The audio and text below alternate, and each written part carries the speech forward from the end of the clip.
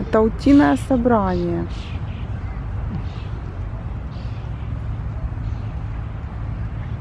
Сборы, да, утиные.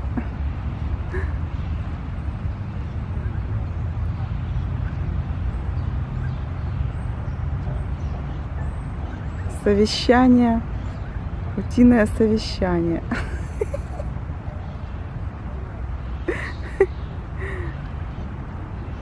Сегодня в Черкасском парке утиное совещание.